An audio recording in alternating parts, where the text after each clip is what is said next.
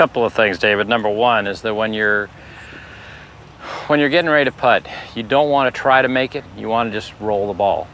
I mean, as soon as you try anything in life, try not to three putt, try to do something in golf especially, it's not going to work. And the key thing I try to talk to people is to have the right line or the right speed, which is the most important. And most people will say the right speed. And then there's the same guy that blows it four feet by.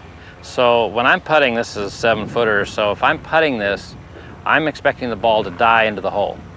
Whether it's 50 foot or three foot, I'm still expecting to die in the hole because I believe the right feel, the right distance is much more important than the line. And so consequently, when I get up to putt it, the other, the other, the other, the last part of the tip would be to make sure you don't watch it. Just try to stay still and roll it. If you don't care if it goes in, that's the chance you'll usually make it every time. Set up, and you'll notice the speed of the ball is just very, very slow and misses the hole. Do I get a mulligan? You get a mulligan. Oh, okay. Never miss mulligans. In other words, it's the speed. If you watch me putt and you watch Crenshaw or any of the good putters, you'll see the ball roll. It's not struck or it's not hit.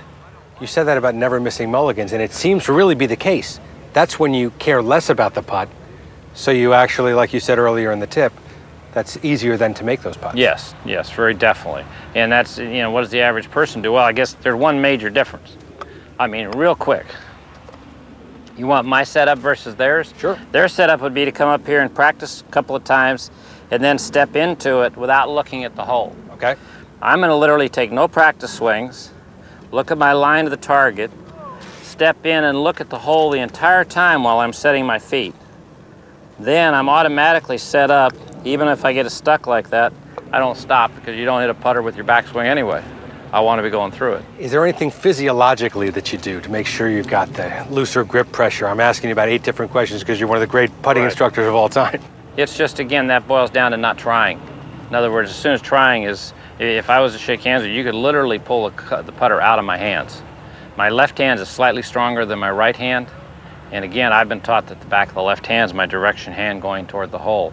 But it's, I relate it to people that a good pool shooter is not how hard you hit the cue ball, it's where the balls end up. It's just, you know, they just leave it in the right spot. And that's kind of what a good putter does. And somebody that doesn't, you'll see very quick mannerisms. They walk into the ball fast, they stroke it fast, and you can tell they, they just want to get it over with.